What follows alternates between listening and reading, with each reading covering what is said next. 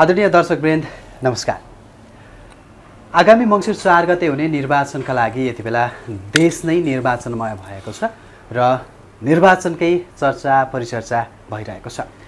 र आज हामी विशेष गरेर निर्वाचनकै सिलसिलामा भक्तपुर क्षेत्र नम्बर दुईमा आइपुगेका छौँ र यहीँबाट क्षेत्र नम्बर दुईबाटै हामीले यहाँका प्रतिनिधिहरूसँग कुरा गर्ने प्रयास गरेका छौँ जमर्को गरेका छौँ र अहिले चाहिँ मसँग कुराकानीका लागि भक्तपुर क्षेत्र नम्बर दुईबाट प्रतिनिधि सभा सदस्यका उम्मेदवार गठबन्धनतर्फका दुर्लभ थापा हुनुहुन्छ।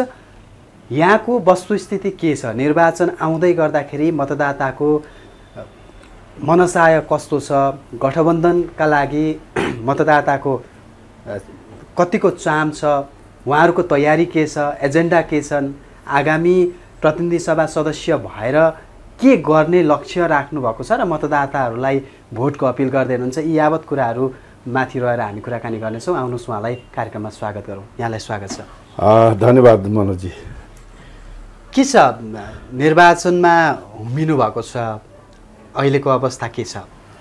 म विगत तिस वर्षदेखि निर्वाचनमा सक्रिय छु। यो पटक चाहिँ म आफै उम्मेदवारको रूपमा प्रस्तुत भएको छु। उम्मेदवारको रूपमा प्रस्तुत हुने र निर्वाचन हाँक्ने भन्ने अलिक फरक कुरा रहेछ। म आम मतदाताको भावना बुझिरहेको छु। यहाँको विकास निर्माणका प्रक्रियामा जोडिरहेको छु। यहाँका दिनादिन दिन दिनका समस्याहरूको बारेमा नजिकबाट निहालिरहेको छु। जनताको भावनाहरू बुझिरहेको छु। अहिले हामीले उम्मेदवारी दिइसकेपछि यही बारेमै सक्रियता देखाइरहेका छौँ। त्यसमा पनि गठबन्धन छ। गठबन्धनका दलभित्र हाम्रो छलफलहरू चलिरहेको छ। के कसरी अगाडि बढ्न सकिन्छ कुन प्रक्रियाबाट अगाडि बढ्न सकिन्छ भनेर त्यही ढङ्गले अगाडि बढिरहेका छौँ अहिले हामी निर्वाचन संयुक्त गठबन्धनको निर्वाचन कार्यालयहरू खोल्ने त्यहाँका जनताहरूसँग भिज्ने र स्थानीय तहमा गठबन्धनका साथीहरू स्थानीय तहका साथीहरूसँग बसेर छलफल गर्ने निर्वाचनमा कसरी जान सकिन्छ कसरी शान्तिपूर्ण तरिकाले निर्वाचनमा सहयोग पुर्याउन सकिन्छ भन्ने विषयमा हामी छलफलमै छौँ अहिले। बचत खाताहरू मध्ये सबैभन्दा बेस्ट एसियाको बचत खाता।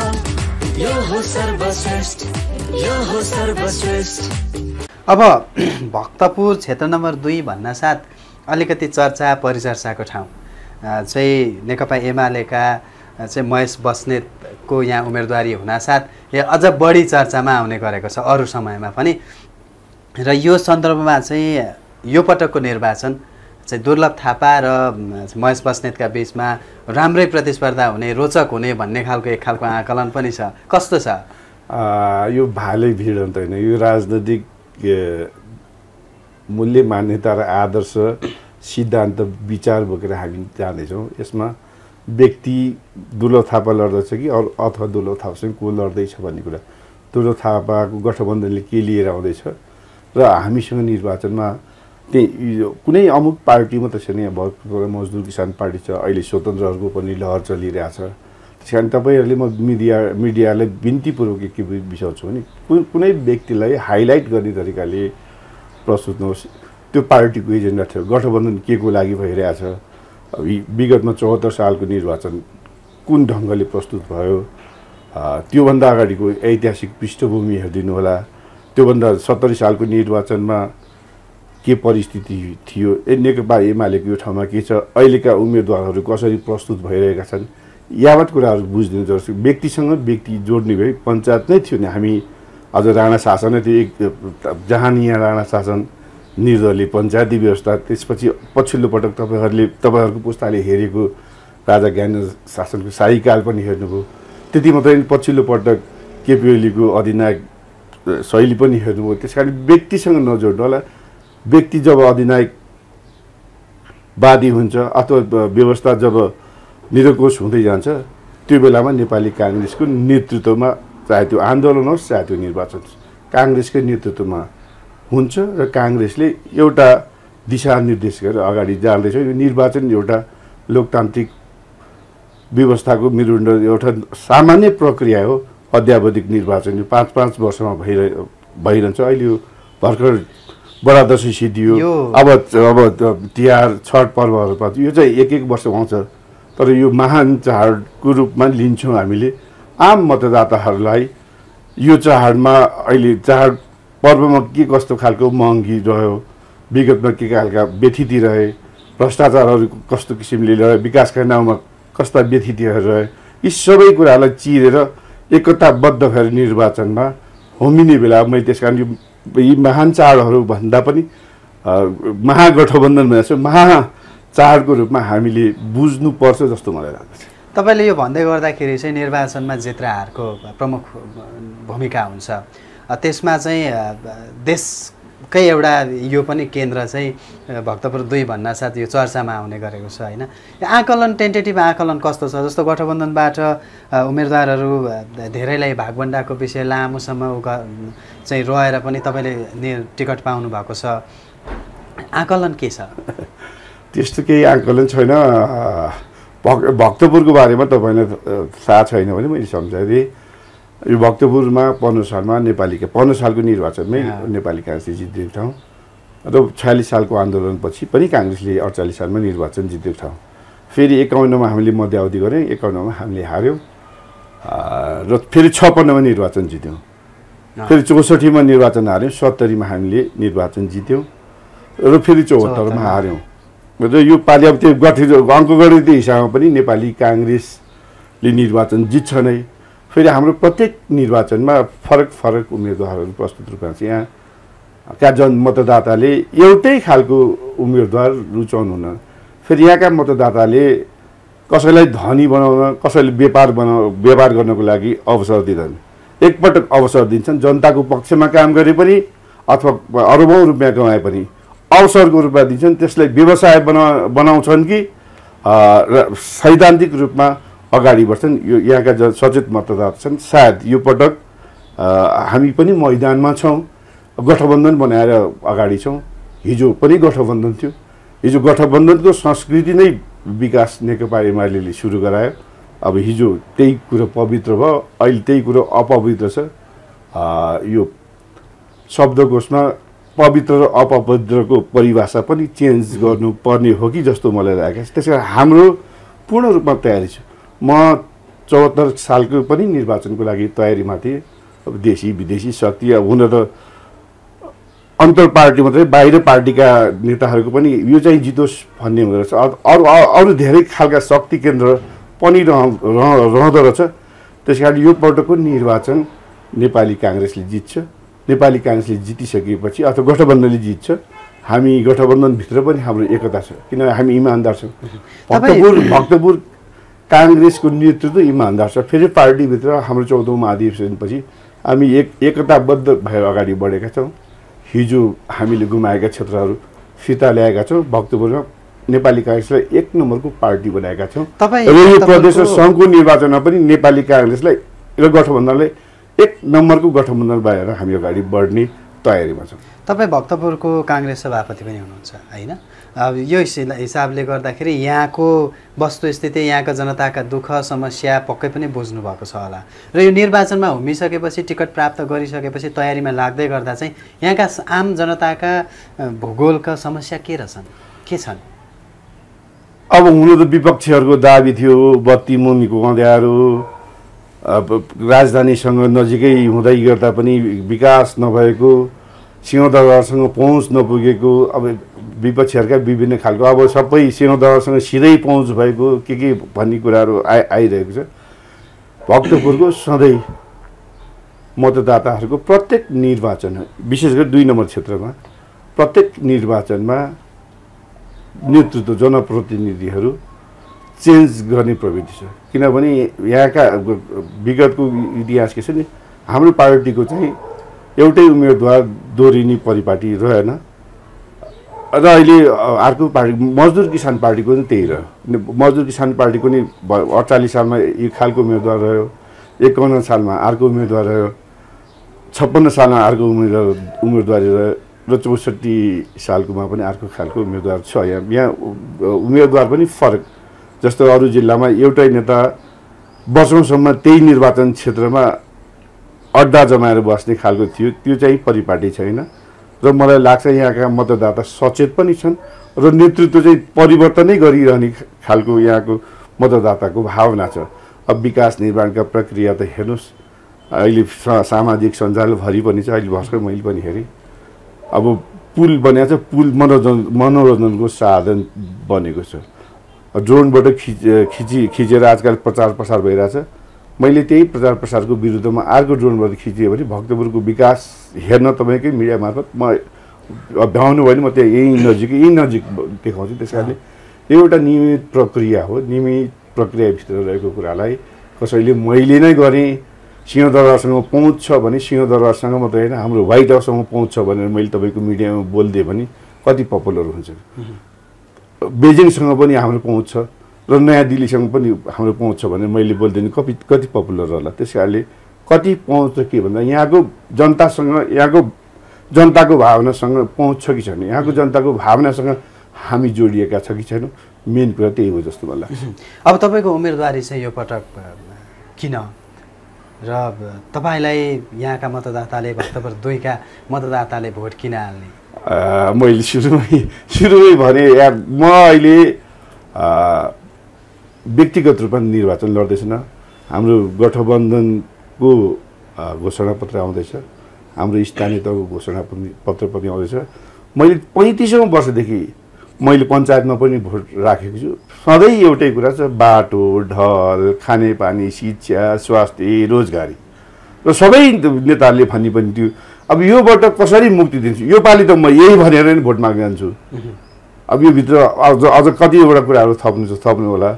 यो पटक चाहिँ यो कुरा लिएर आम मतदाताका जान्छौँ र अर्को पटक चाहिँ यी सबै कुराहरू हटाएर यहाँ रहेको बेरोजगारी भ्रष्टाचार यो स्वास्थ्यमाथिको पहुँच र एउटा समृद्ध भन्ने अब केपी ओलीले त समृद्ध हाम्रो चोर्यो पनि भन्नुहुन्छ। भाषा कम्युनिस्टको भाषा मात्रै भाषा सबैको भाषा हो। त्यसो बुझि बुझिने गरेका छन् समृद्ध भक्तपुर बनाउने अभियान छ। हाम्रो टिपिकल सहर मध्यपुर र भक्तपुर टिपिकल सहर छ। अब त्यसलाई हामीले संरक्षण गर्नु पर्यो र अहिले दुईवटा नयाँ सहरको रूपमा विकसित भएको छ। हुन त रङ्गशाला स्मार्ट सिटी स्मार्ट सिटीको बारेमा पनि म पछि अर्को पटक भनौँला त यी सारा नारा दिएर जहाँ जहाँ प्लानिङ भयो जहाँ जहाँ के अरे यो रङ्गशाला बन्छ भने जहाँ जहाँ विकास निर्माणका प्रक्रिया अगाडि बढ्यो त्यहाँ चाहिँ केही भूमाफियाहरूसँग संलग्न भएर हामीले तिरेको कर अनि मैले बाटो बनाएँ भनेर दाबी प्रस्तुत भइरहेको छ। यसमा मेरो घोर आपत्ति छ। मलाई लाग्छ भक्तपुरमा चारवटा नगरपालिका छ चारवटा नगरपालिका जनप्रतिनिधि। यहाँका जनप्रतिनिधिहरूले केही गर्नु जस्तो मलाई लाग्यो। सिधै सिंहदरबारमा पहुँच भएर सबै सिंहदरबारबाटै वारवारी बजेट आएर अरू सबै गरेका छौँ। र मलाई लाग्छ हामीले स्थानीय रूपमा नगरपालिकामा तिरेको कर चाहिँ कहाँ गयो भने म खोज्दैछु। अब सबै सिंह सि- सिंहदरबारबाट सिधै यहाँ प्रवेश भइसकेपछि यहाँ नगरपालिकामा हिजो नेकपा एमाले जितेको थियो तिन तिनवटा नगरपालिका म त्यो हिसाब किताब खोज्दैछु। हामीले तिरेको स्थानीय तहमा तिरेको चाहिँ करको कहाँ गयो?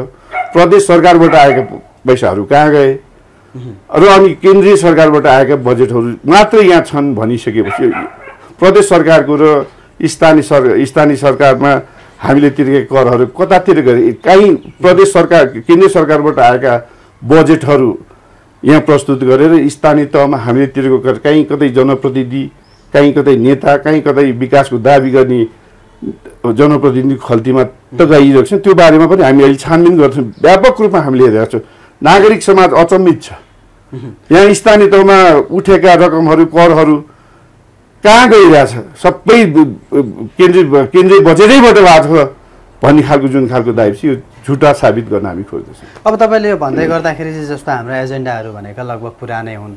जुन कुरा छ- शिक्षाको कुरा रोजगारीको कुरा स्वास्थ्यका कुरा सरसफाइका कुरा यिनै कुराहरू र चाहिँ पूर्वाधार विकासका कुरा यिनै एजेन्डा हुन् र यसैको कन्टिन्यू निरन्तरता हो भन्दै गर्दाखेरि चाहिँ अहिलेको प्रतिस्पर्धा चाहिँ गठबन्धन भर्सेस एमाले हुँदै गर्दाखेरि योभन्दा बाहेकका स्वतन्त्रहरूको पनि राम्रै उपस्थिति छ त्यत्तिकै जुर्मुराएका छन् र उनीहरूको चाहिँ अलिक फरक प्रकृतिका एजेन्डाहरू पनि आउँछन् होइन। जस्तो डिजिटल बेसमा रहेका अथवा चाहिँ अलिकति स्मार्ट खालका योजनाहरू पनि आउँछन्। त्यस्ता खालका केही योजना बनाउनु भएको छैन हेर्नुहोस् अब म इन्जिनियर होइन म डाक्टर होइन। त्यस कारणले अब इन्जिनियरको दाबी के छ भने इन्जिनियर हामीलाई थाहा छ। हामी पुल कसरी बनाउने कुरो हामीलाई थाहा छ भनिदिनुहुन्छ। डाक्टरले के अरे मुटुको शल्यक्रिया कसरी गर्नुपर्छ हामीलाई थाहा छ भनेर दाबी गरिरहनु भएको छ। मेरो दाबी समग्र रूपमा मुलुकको राजनैतिक अवस्था के छ हामीलाई थाहा छ। उहाँहरूको दाबी रहनु थियो। इन्जिनियरले पुलै बनाउने हो डक्टरहरूले बिरामीको उपचारै गर्ने हो र नेताहरूले राजनीति नै गर्ने हो। केही नेता भ्रष्ट छन् समग्र रूपमा थाहा छ। केही भ्रष्ट नेतालाई आरोप लगाएर समग्र प्रणालीलाई भत्काउन खोजिँदैछ। त्यो बुझ को कहाँबाट सञ्चालित छ? म कसैले दोष लाउँदिनँ। तर के छ भने को कहाँबाट सञ्चालित छन्? र बल्ल बल्ल सत्तरी वर्षपछि संविधान सभा मार्फ- मार्फत बनेको संविधान पनि भत्काउने खोज्छ। चाहे त्यो छयालिस सालको संविधानलाई पनि त्यही त्यही माथि बलात्कार राजा ज्ञानेन्द्रले गरे। त्यसपछि अहिले अहिले पछिल्लो पटक पनि सङ्घ किन सङ्घीयताका बारेमा अब यो स्थानीय तल दिने अधिकारका बारेमा कहीँ कतै मो मोफसलबाट आवाजहरू आइरहेछ। यो नेपाललाई स्थिरता दिन नखोज्ने कहीँ देशी विदेशी तत्त्वको पनि अब घुस घुटपैठ भयो कि जस्तो मलाई लागेको छ फिलिङ भएको छ म आरोप त लाउँदिनँ तर के छ भने यो किन भइरहेछ भनेर हामीले पनि बुझ्नु जरुरी छ। हाम्रो पार्टीको नेताहरूले पनि बुझ्नु जरुरी छ मैले पनि बुझ्नु जरुरी छ। निरन्तर रूपमा हामी पनि चालिस वर्षदेखि पार्टीकै राजनीतिमा छौँ। हामीबाट केही गल्ती कमी कमजोरी नभएको भए छया छयालिस सालको उपलब्धि गुम्ने थिएन। हाम्रो कारण छयालिस सालको उपलब्धि गुम्यो। र अब फेरि हामी प्रतिस्पर्धाको नाउँमा कहीँ कतै अहिले हामी लोकतान्त्रिक गणतन्त्र जुन उपलब्धिका रूपमा प्राप्त गरेका छौँ त्यो पनि कहीँ कतै गुम्ने त होइन। र फेरि मुलुक कता कता अस्थिरतातिर धकेलिने कि धकिलिने त छैन भन्ने कुरातिर मलाई चाहिँ अलिकति आशंका पैदा भइरहेको छ भनेपछि नेतृत्वमा नेतृत्वमा पुग्नका लागि चाहिँ पुराना एजेन्डाहरूको निरन्तरता तपाईँले भन्दै गर्दाखेरि छ। अर्कातिर चाहिँ सुरुमा पनि कुरा भयो कि एउटा चाहिँ प्रतिस्पर्धी दलको होइन प्रतिस्पर्धी दलको चाहिँ प्रतिस्पर्धी चाहिँ अलिकति बलियो हुँदै गर्दाखेरि चर्चा परिचर्चा हुँदै गर्दाखेरि चाहिँ तपाईँले आफ्नो जितको आधार के देख्नु भएको छ? म म निरन्तर भक्तपुरमै छु। म भक्तपुरमै बसेर राजनीति गर्छु। मैले जुन दिन नेपाल विद्यार्थी सङ्घको केन्द्रीय राजनीति छोडेर भक्तपुरमा प्रवेश गरेँ। म ने नेपाल विद्यार्थी सङ्घको केन्द्रीय नेतृत्वमै पनि स्थापित हुन सकेँ तर भक्तपुर हेरेँ मैले चौन्न सालको स्थानीय निर्वाचनमा सहभागी हुन खोजेको प्रतिनिधित्व हुन खोजेको थिएँ मेरो प्राविधिक कारणले मेरो त्यहाँ उपस्थिति रहेन।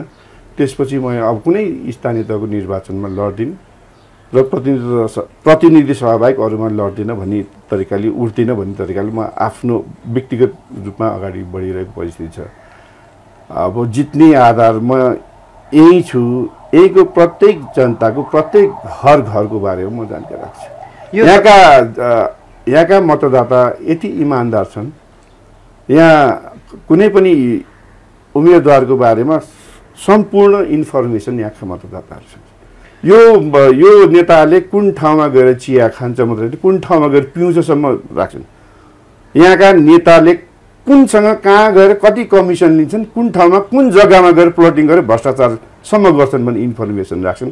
त्यस कारण हाम्रो आधार हामी गठबन्धनमा छौँ। पहिलो कुरो त हिजो गठबन्धनको कारणले निर्वाचित भएको साथीहरू तपाईँहरूले तपाईँहरूले बिर्सिनुभयो जस्तो लाग्यो। हिजो गठबन्धनको कारणले निर्वाचित भएको कुरा। अब बलियो बलियो बलियो भन्छ। भनिदिनुहोस् अहिले हामी गठबन्धन छ।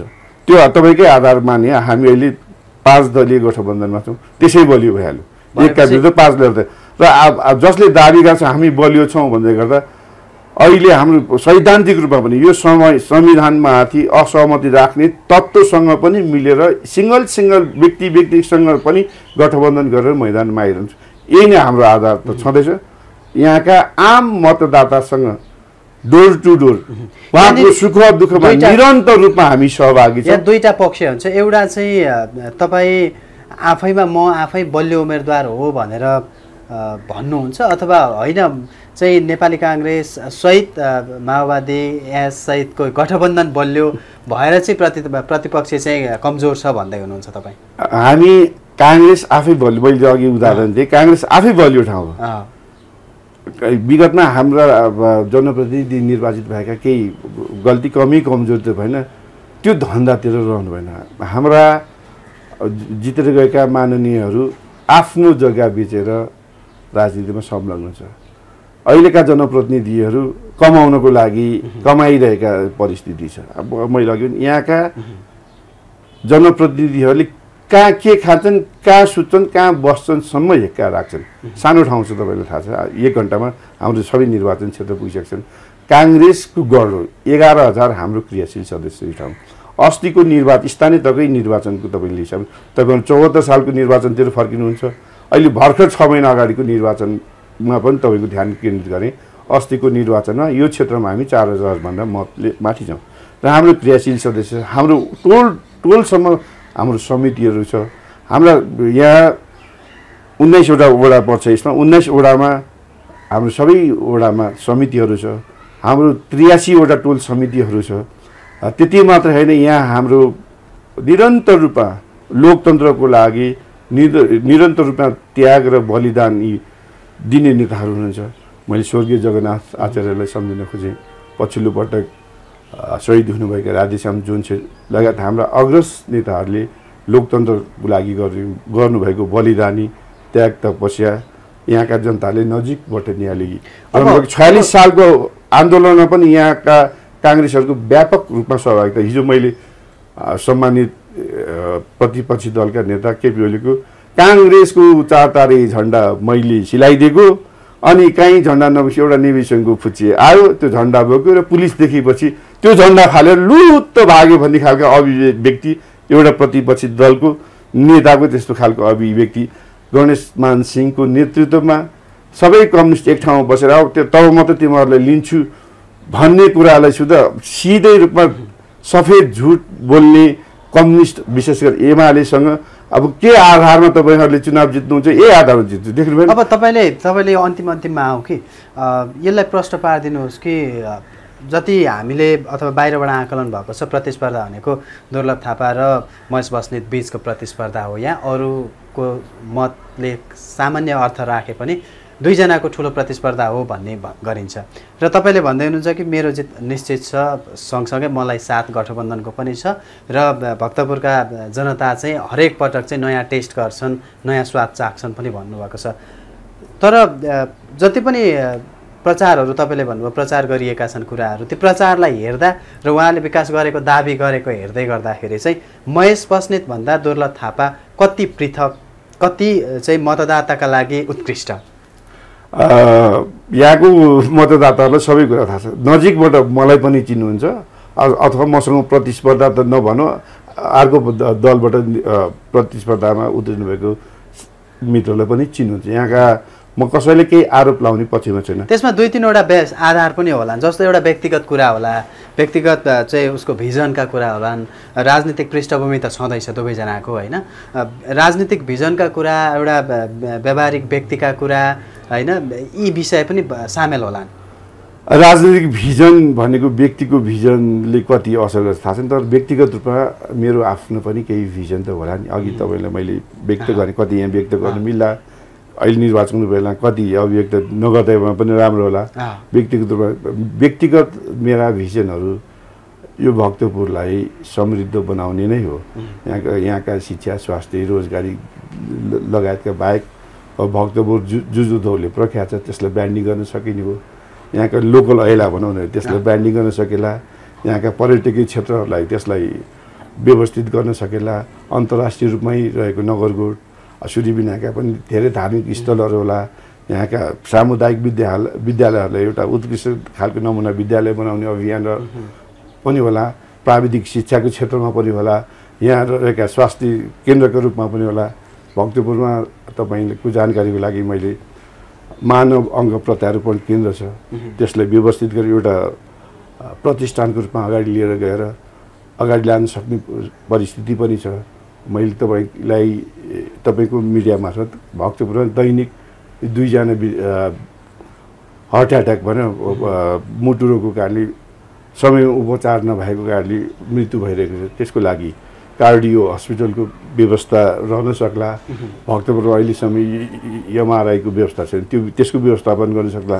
प्रदेश स्तरीय अस्पताल छ। त्यसलाई अझ थप व्यवस्थित गर्न सकिन्छ। यहाँ क्यान्सर अस्पताल छ विवाह अस्पताल छ। एमाले त्यसमा कब्जा जमाउनु खोज्यो मजदुर किसान पार्टीले त्यसमा कब्जा जमाउँछ त्यसलाई व्यवस्थित गर्न सकिएला यहाँ प्राणी उद्यानको रूपमा सूर्य विनायक यही नजिक यहीँ तपाईँको अगाडिबाट देखि त्यसलाई प्राणी उद्यानको रूपमा स्थापित गर्न सकिन्छ।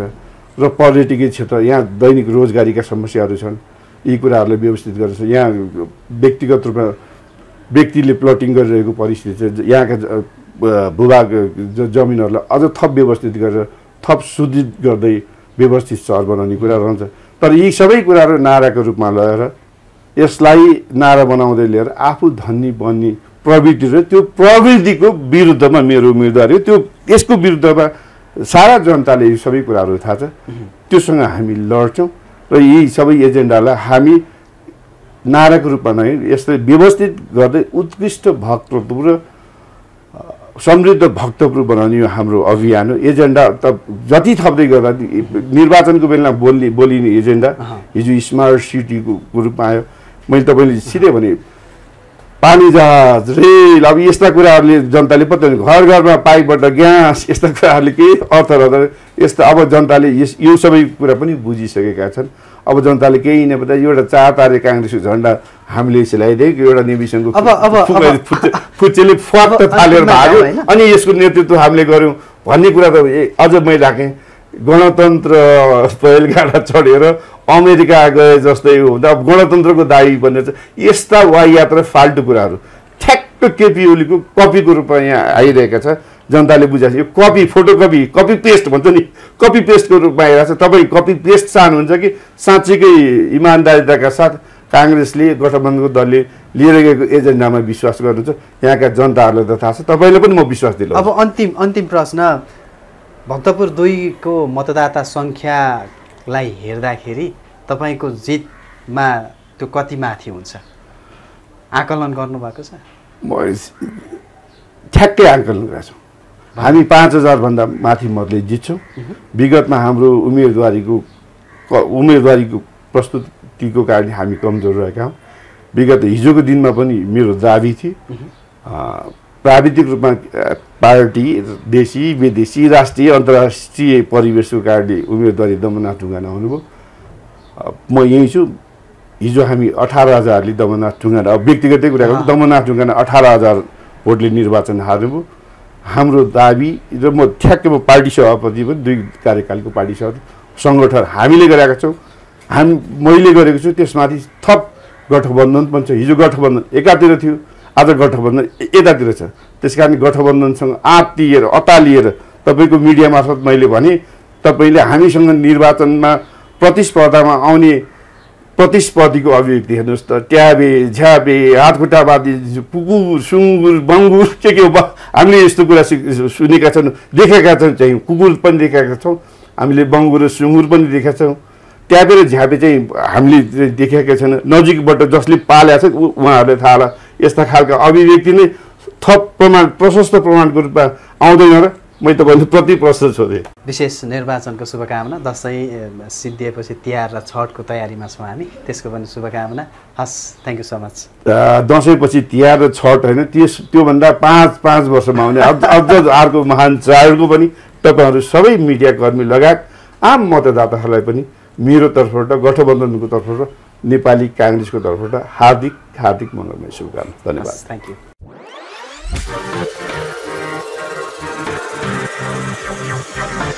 Bye.